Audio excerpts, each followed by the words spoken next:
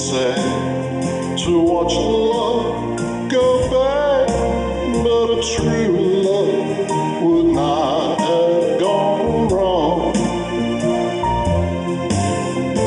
I'm just thankful for the good times we